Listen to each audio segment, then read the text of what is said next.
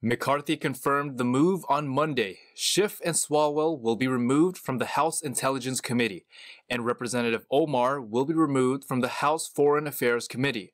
McCarthy has the power to keep the two congressmen off the Intel panel as House Speaker. A majority vote in the House will be needed to remove Omar. Omar has been accused of anti Semitism multiple times. Both former House Speaker Nancy Pelosi and Senate Majority Leader Chuck Schumer have rebuked her for her statements. McCarthy tweeted that he removed her for, quote, repeated anti Semitic and anti American remarks. McCarthy said Swalwell can't get a security clearance in the public sector. Swalwell allegedly had an affair with a suspected spy from the Chinese Communist Party.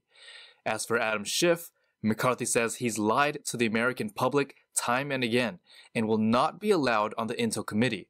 Schiff has been accused of fabricating information about the Russian collusion narrative and then leaking it during the Trump administration, something that Schiff denies.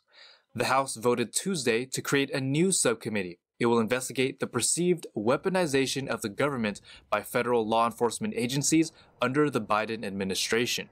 The panel is part of the House Judiciary Committee. Representative Jim Jordan is expected to chair it. McCarthy promised a year ago to remove them if Republicans took control of the House. He repeated that vow during the midterms.